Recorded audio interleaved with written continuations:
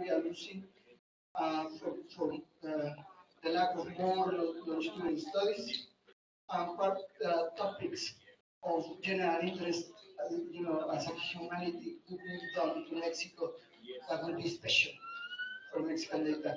For that uh, dialogue, uh, we have uh, Marta Moreno Perez from Coneval, uh, from Enrique uh, Huerta Wong from uh, and Julieta Perez Amador from Colmex. Welcome. So, uh, I already sent you an email with the idea, but uh, you will start with five minutes opening, uh, first round, and then uh, second round, uh, another uh, four minutes uh, discussion, and then we open to questions, and we will short time. Okay, so.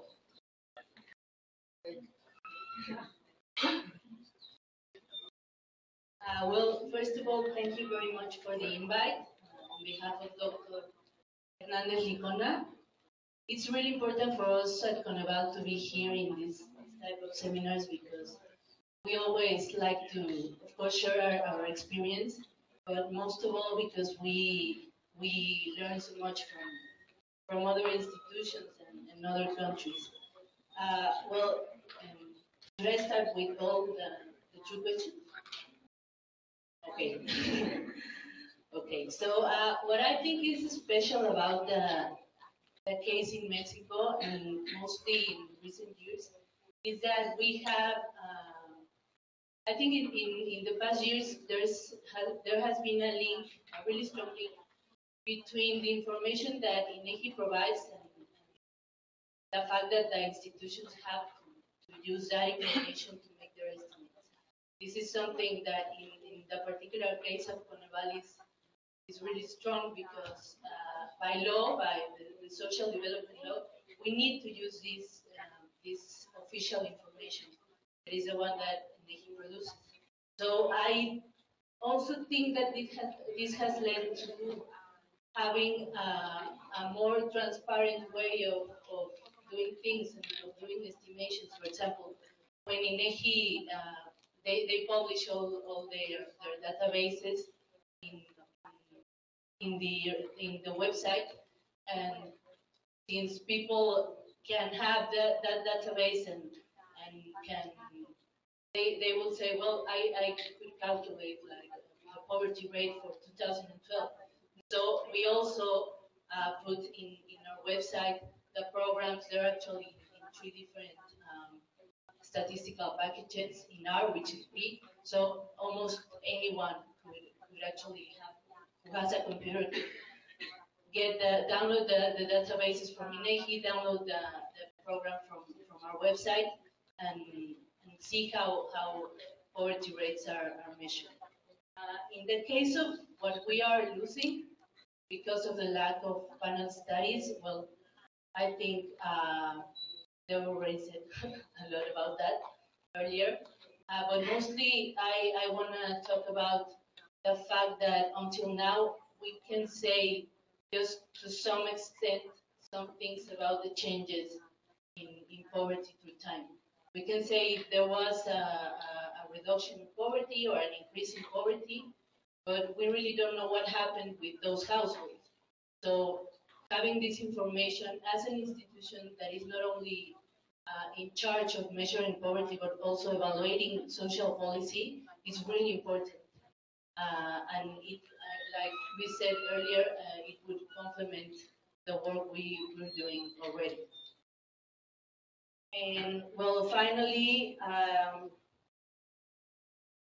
I want to say it, it, well, it would help a lot uh, to know what's happening with the dynamics of poverty, but also to, to know if social policy is actually working.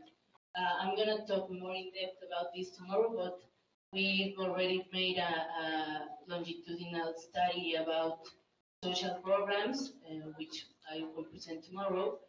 And it's really important to know whether some some social programs are actually working in, in, in some uh, in, in attacking social deprivations and, and welfare.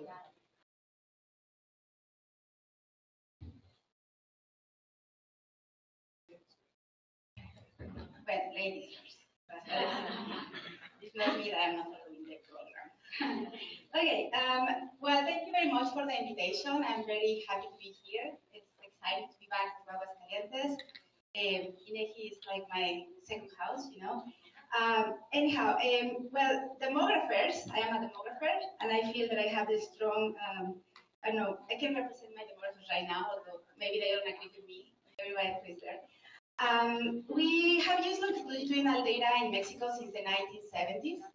Uh, the World Fertility Survey uh, and all the fertility surveys that came after that um, have um, sections on fertility histories and marital histories. So there are retrospective um, calendars of when you have kids and the partnerships that you have. And we have been using this information since the 70s, and I think that we have been, we have been very influential in, in, in show the determinants of fertility, determinants of marriage, etc., etc. But what these surveys have in common is that they have a big problem, which is that you have longitudinal retrospective data, and you have to explain what happened in the past with a status that, that happened in the present, right? So you have only education, a labor force participation, which is education, you can agree that maybe is a proxy of uh, things that happened in the past. But for example, women's labor force participation, we have it only at the, at the time of the survey. And we have always tried to use that question as something to explain fertility and, and nuptiality. But in, the, but in reality, we don't know if the, how was the life, the work history of these women. So um, then I also want to mention that, that the National Survey of Youth, which has a big budget and a big sample, um, started in 2000, then 2005, 2010, and they also have retrospective questions about the transition to adulthood which is a topic that is super important, and I'm going to say that that's one of the things that we're missing because we are not having longitudinal prospective data.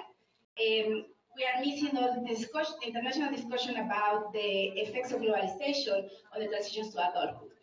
Um, but um, I want to say that there is also a lot of colleagues that have used very creative, creative, creativamente uh, the, the national employment survey, the ENOE, uh, because that one has a rotative panel, and then you follow for five trimesters people, and then there has been a lot of studies about the dynamics of the labor force entry um, among women. So you put all the pieces together, because there are different different surveys in many different topics that give you a little piece of a puzzle, I think that the models we have been very creative in putting all these pieces together and tell stories. Okay? So the first thing that I'm going to say is that why do we need um, longitudinal data? And I'm going to say why why we, why we want it, and I say like because we deserve it. We have been working with these data that are not ideal for 15, say 1970, 30 years. So I think that is the time that we deserve this kind of data, right? That's the first thing that I want to say. The second thing that I want to say is that fortunately we have the EDER. Um, for, um, Maria Zavala couldn't be here today, but the EDER is a national, la, la, national demographic retrospective survey. It has been taken twice in Mexico, one in 1998, and there is more recent one is, is 2015. And that one has a life history calendar. That means that everything they come to your house, they ask you a question, uh, you are interviewed, and then every single year of your life, you need to say all your history about uh, work, about family, about fertility. I don't have a minute, sorry. Okay, well, um, with that survey, we also have worked a lot. And I'm going to just briefly say, I'm not actually the best representative either, but I'm going to I'm going to tell you that um, one of the most important things that we have um, find in different topics and different um, socio-demographic research is that individuals don't take decisions through the life course by themselves. They do it in households. They do it in lives. Like the, the life history of your parents affects the life history of, your, of, of you. And the life history of your siblings also affects the life history of you. So it's not only uh, um, take, having longitudinal prospective, or data shows that everything is dynamic by itself, but it's also dynamic within the households. And the life history of people is just linked. And I can take more. Um,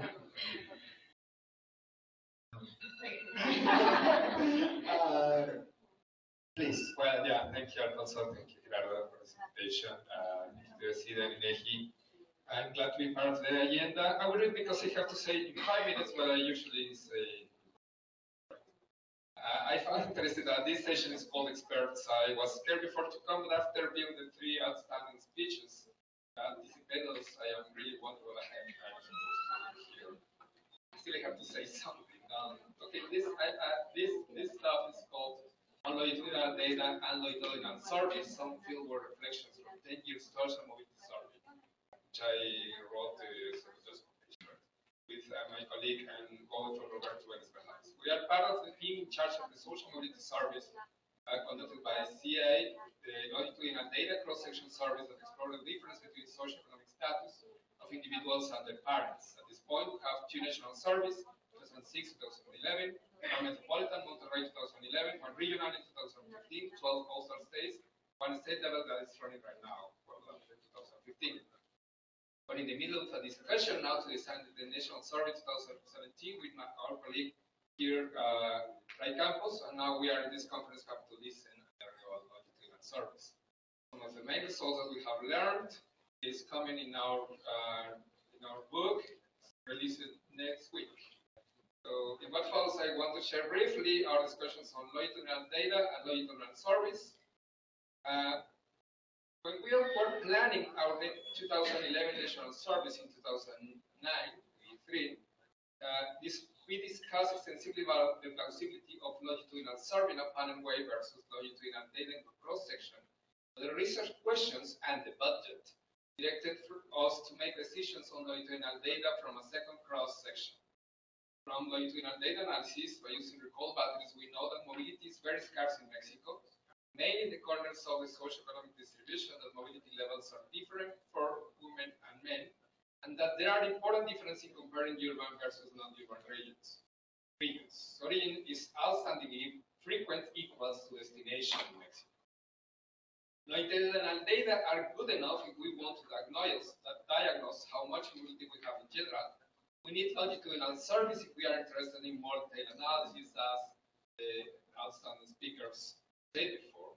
For instance, for instance, if we are interested in exploring in depth two rates of equal mobility and asking under which conditions certain people move like men or workers. We visualize now two opportunities for the next generation of the EMOVI service. First one is to extend them in time. Second one is to extend them in scope. Second one is to extend the sample size big enough to make them representative to state level, which we are doing right now in Puebla. As for the first issue, broadening time, let me share some comments. In the discussion section uh, of the 2011 Survey General Report, we discussed the need for reviewing in depth what is happening along the cycle of life.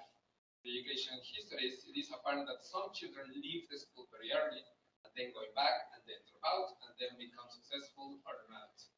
The same, the same may be said for occupation or migration histories. Longitudinal data dependent on recall are weak on details in comparison of longitudinal service to address those questions about the cycle of life. We need longitudinal service, but this discussion faces at these three issues rooted in groups and Hansen from the team of the PSID Michigan. With adequate planning, multiple methods, and enough information, time, money, skilled staff perseverance, and so on, 90% to 100% location rates of panel participants are possible. We are wondering now if we have all those elements at hand. And we need information, time, money, skill, staff, and perseverance.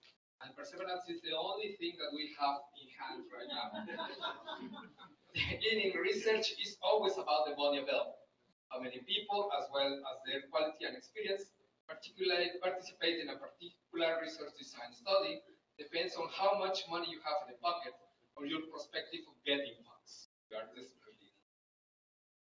which is depending on your experience attracting funds, how many people and how skilled they are participating, in data gathering also depends on the budget available.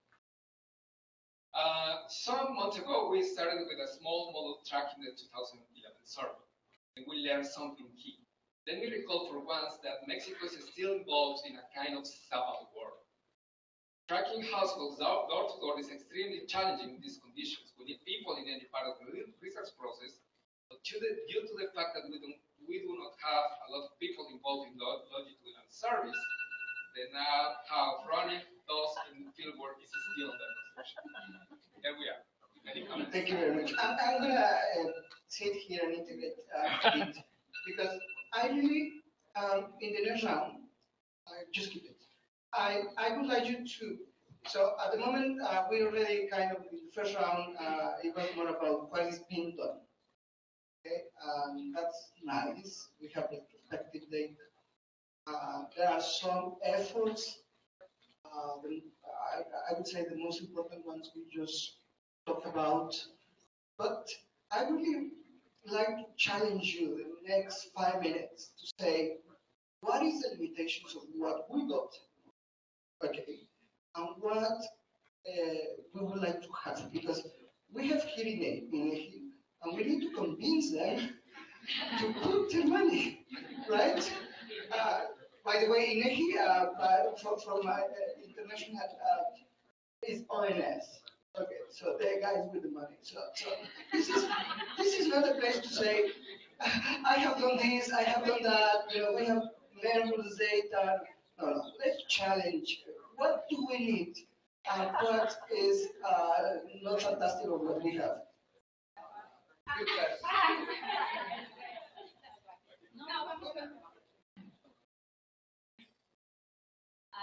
Well, what do we need? Uh, I think I would start with, um, like you said before, maybe demographers have used uh, a lot of longitudinal data all over time. but I think we need uh, to be more explicit of what, what we can do with this and to, to make uh, not only people in in academic institutions, but also in government institutions to use them. Uh, we were talking about the ENOE earlier. Uh, there you have a panel, and, and, it's barely used as a panel. You, you use it like each trimester you give uh, unemployment rates or, or labor income, something like that. Uh, and we really we're, we're, not using the, the panel. I know you can you can follow uh, the same household for five, five quarters, right? Uh, because it's a 20% replacement. So, but uh, as I understand, that, that 20% of households that, that are replaced are replaced with households with similar um, similar demographic and socioeconomic uh, characteristics. So you, you can maybe work with that and, try to make a synthetic panel more um, for, for, for a longer time. Uh, so first of all, to inform people in, in, in every in every area that that it's um, there there are uh, some panel uh, some longitudinal studies and, and, surveys that can be used and should be used as that. And on the other hand, something that uh, Rebecca was talking about earlier about um, administrative records. I think it's it's really important to to uh, move forward to this because it's uh, it, it would uh, save us a lot of, of money and time if we could use all administrative records we have that are actually helpful because some of them aren't. Uh, and, and, and we could save a lot of, of money and time if we could cross information from, uh, let's say, uh, the SIFODE, which is, which is uh, the where, where all the beneficiaries from social programs of the Solar with uh, some survey from INEGI and, and, stuff like that. And well, that's it.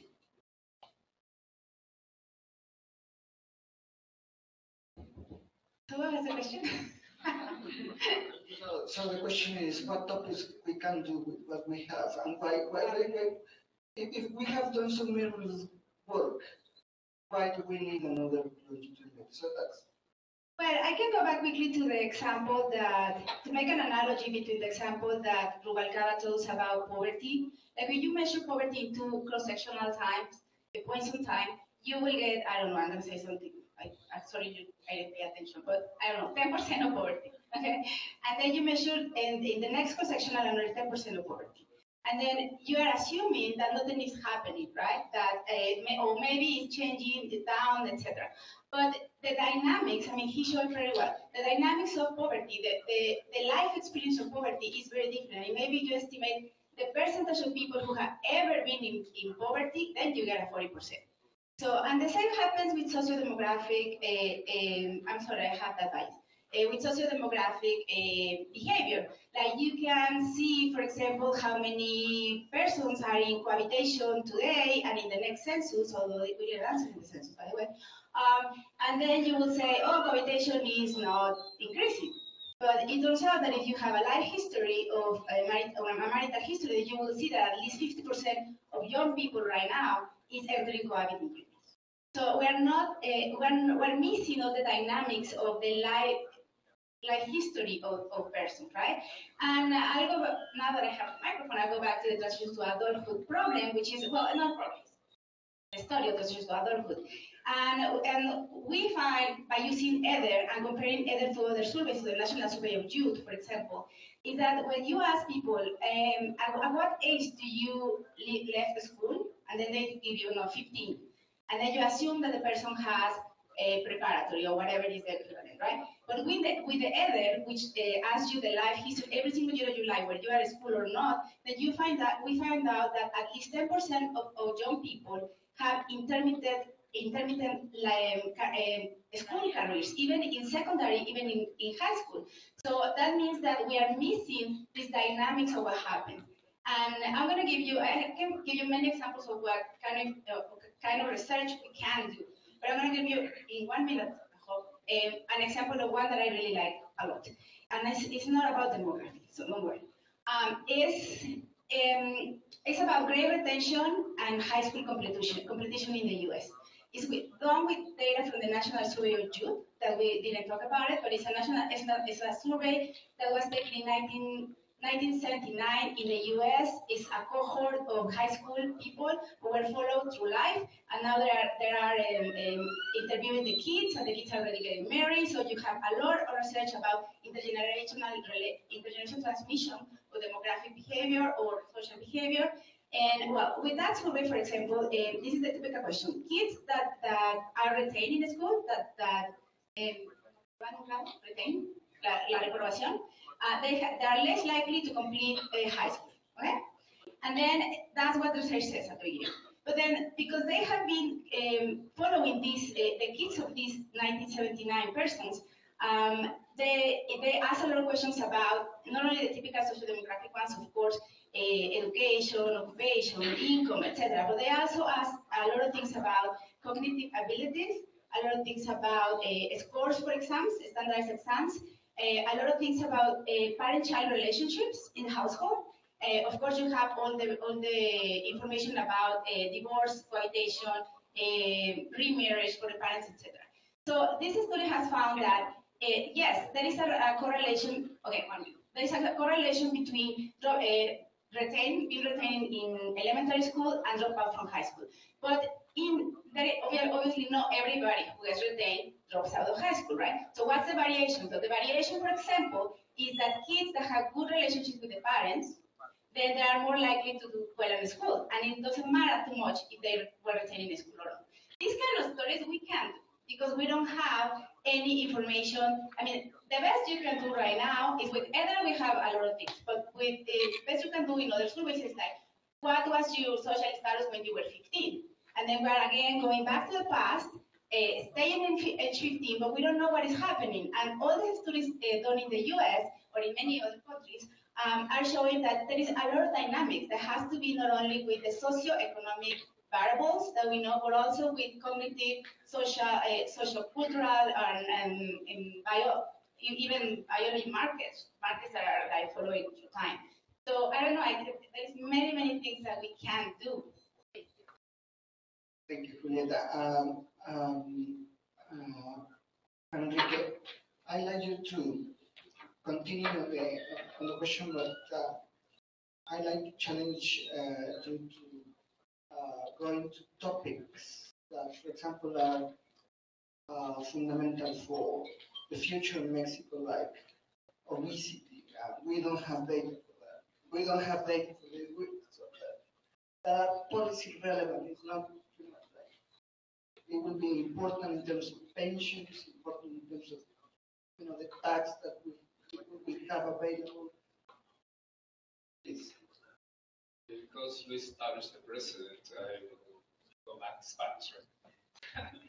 eh, una, de las, una de las cosas que, que hemos estado eh, diciendo es, eh, seguridad social es un indicador clave en el contexto socioeconómico actual porque el contrato social tendría que cumplirse, la igualdad de oportunidades tendría que cumplirse de manera funcional y la diferencia que tenemos entre algunas personas que se han esforzado, que tienen más talento, y algunas personas que no.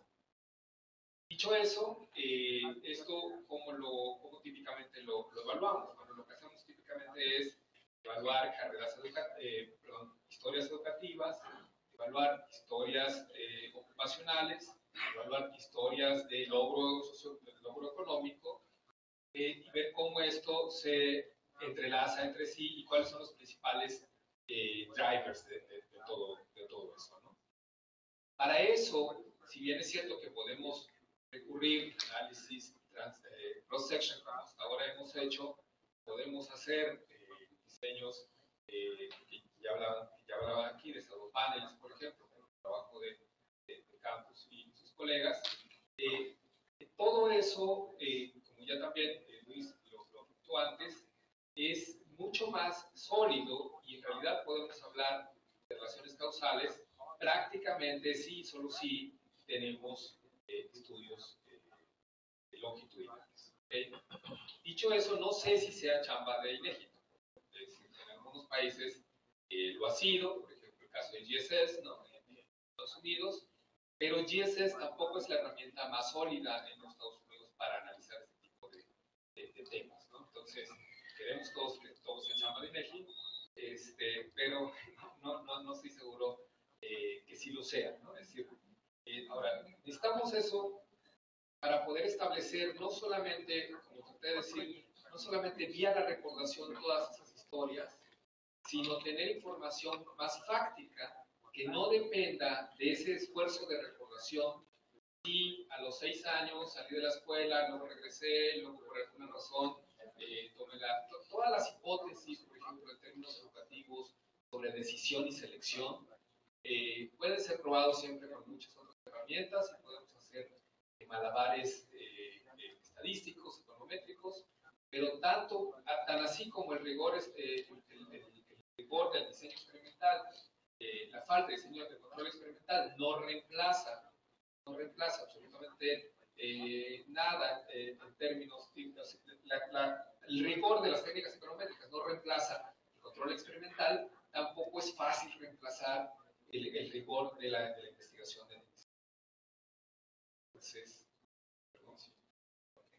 Uh, Thank you very much. Uh, I think it's time to open to the public uh, for comments. There there are uh, hands in back, another hand here, another hand here, another hand here.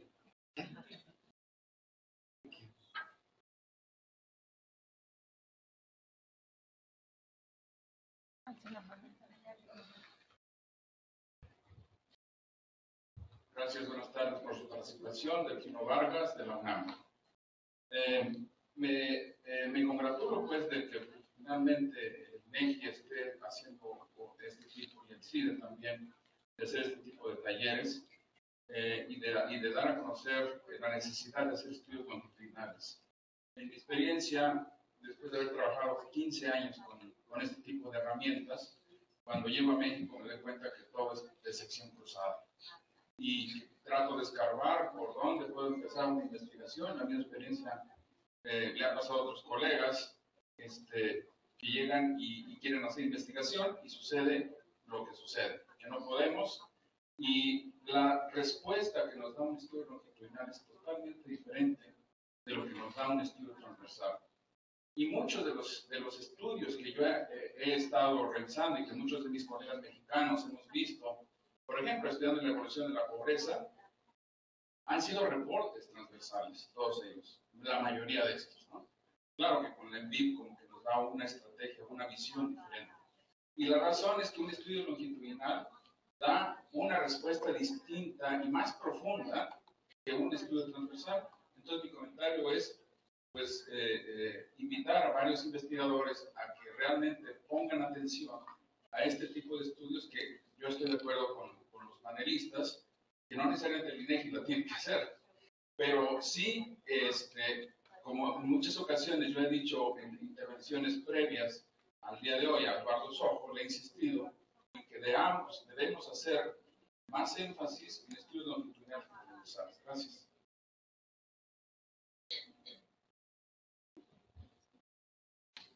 Thank you very much. Uh, There is another, uh, yeah.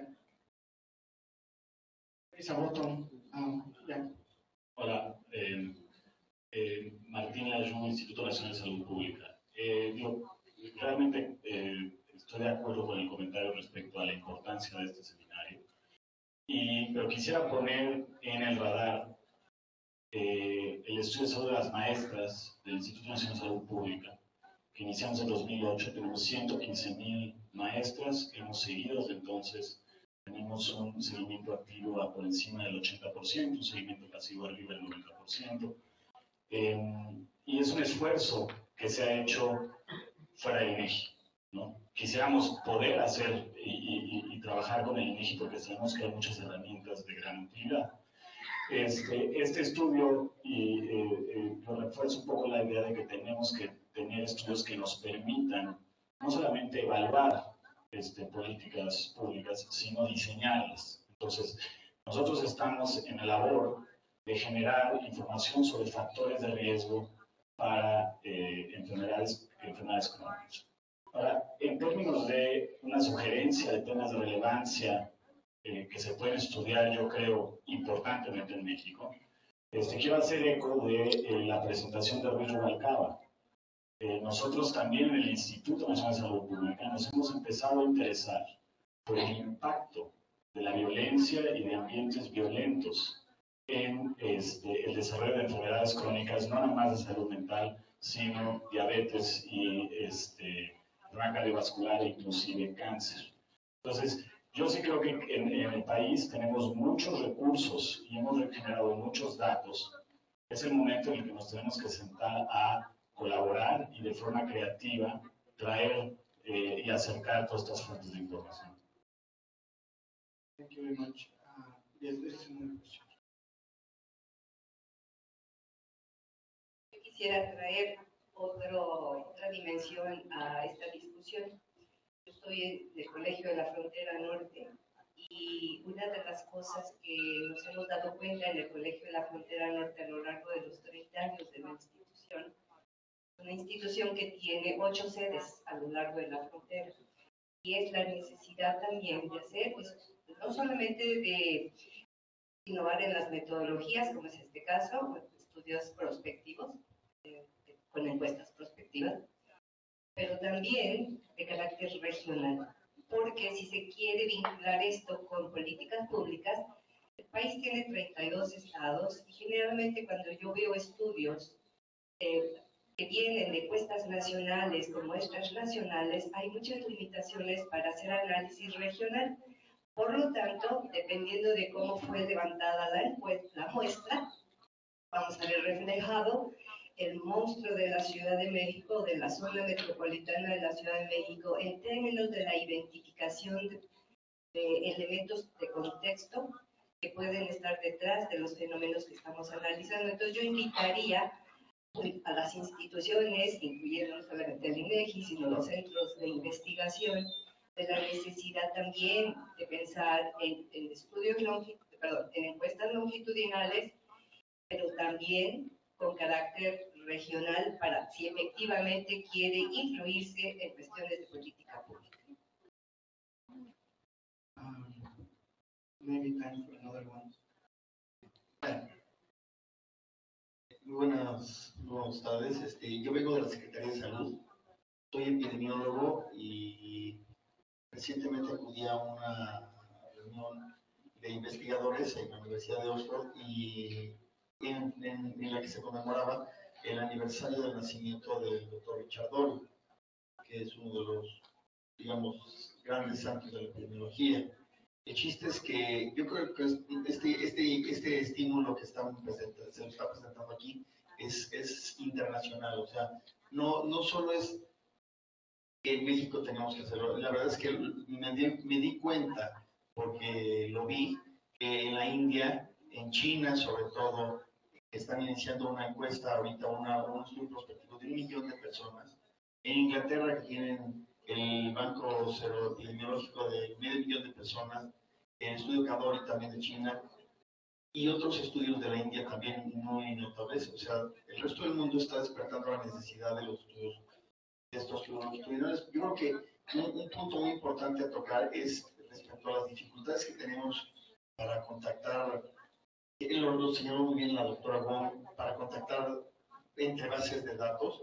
Lo están haciendo, lo que están haciendo en otros lugares del mundo es utilizar programas heurísticos que toman bases, toman este, datos similares para ir acercando eh, de una manera más lógica los prospectos que se parecen unos a los otros entre distintas bases de datos. Al lograr esto, disminuyen mucho su trabajo de campo. Solamente se aplican a pequeñas cantidades de datos que solamente tienen que ser verificados en campo, no todos. Y este, otra cosa que me, me agrada, porque también como que volvió al tema, yo empecé a hacer investigación en cortes hace aproximadamente 12 años, o 18 años, perdón, lo que, lo que hacíamos es que preguntábamos un montón de cosas. Y cuando decíamos de sangre, decían, ¿la sangre para qué? ¿Qué tienes todo? Y actualmente está volviéndose a poner en el, en el, en el en el escritorio la sangre y los, y los biológicos debido al proyecto de genoma humano. Entonces yo creo que si bien ahorita se ha hablado mucho de demografía, en términos de salud y por el grave problema de enfermedades crónicas no transmisibles que tenemos en México, creo que vale la pena considerar estos tres factores para, para, el futuro. Uno, utilizar programas heurísticos. Dos, como dice la doctora Gomi, dijo muy bien, buscar la manera de que los siguientes eh, récords y registros que existan en, en, este país traten de tener una identificación única, aunque creo que llegamos demasiado pronto porque ahorita todos los que tienen CURP son niños. Y el problema es que está en los adultos, o sea, para nosotros los, médicos.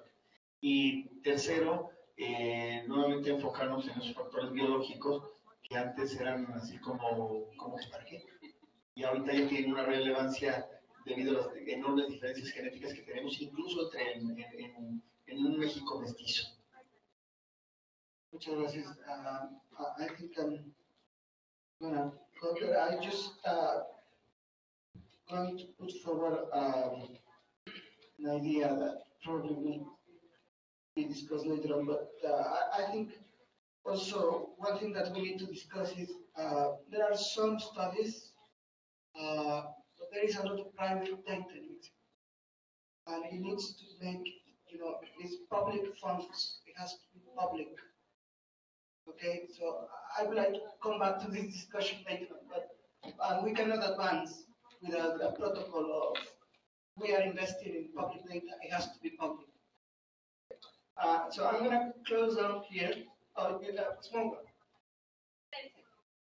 uh, just quickly on the, on the on the topic that if if it's INEGI who needs to take the data, uh, of course not. If you have a, a very specific story that you wanna uh, do, yes, it's not necessarily INEGI. But uh, uh, INEGI gives us demographic surveys every five years now, and they're going to start giving us a new one, which I'm very excited about, the, the National Encuesta de Hogares.